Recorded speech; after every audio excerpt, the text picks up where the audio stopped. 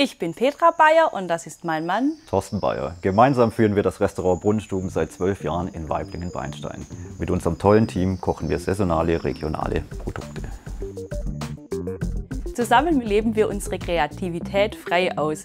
Wir gestalten alle paar Wochen eine neue Speisekarte mit drei unterschiedlichen Menüs. Nachhaltigkeit und Regionalität sind uns sehr wichtig. Deswegen haben wir uns über die Jahre ein tolles Netzwerk von hervorragenden Lieferanten aufgebaut. Natürlich darf im Lemstal der Wein aus unserer Region nicht zu kurz kommen. Diesen ergänzen wir durch Weine aus Europa, um euch schöne Weinbegleitungen zu unseren Menüs anzubieten. In unseren drei Menüs bieten wir euch vegetarische, internationale und schwäbische Küche an.